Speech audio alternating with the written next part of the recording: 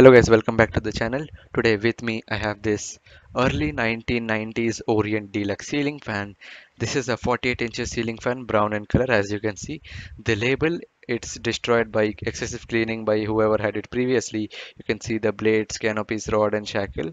And now let's show you the motor. The motor, is, the fan is really clean, very neatly maintained. All the parts are intact and you can see the capacitor connector. It is a different design so now I have opened up the fan. You can see the false cover and the medallion that separate. And, uh, that is the lower body of the fan as you can see. And this is the rotor of the fan this is a 16 pole stator of the fan. Normally these should have 18 pole but this 16 pole and most orients are bush from below. This one has bearing so bearing orients are common now but back in the day they were less common. So need some greasing and cleaning. So now let's clean the fan.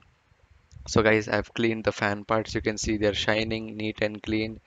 You can see from the motor you know the rotor it had some black marks some you know smoke and all accumulation from all these years of usage cleaned it all. You can see I've cleaned the upper body all the gunk, gunk as well. The bearing needs to be greased I'll do it in some time and the stator has also been cleaned to some extent. So now let's assemble the fan. So guys I've assembled the fan. I've replaced the capacitor with a Tibcon the previous one was a Globe 2.25 microfarad.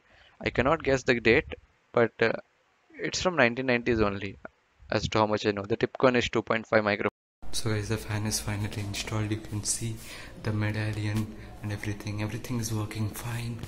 Let's start the fan. 16 pole motor will not give as good as the speed in 3 blade but this is the old one so this will give good performance. Oh wow performance is not bad. It's good for a 16 pole motor with those wide blades airflow is spreading around the room. This is not good for summer. In winter it will help you but in summer it's trouble. It's not gonna blow air. Let's switch it off.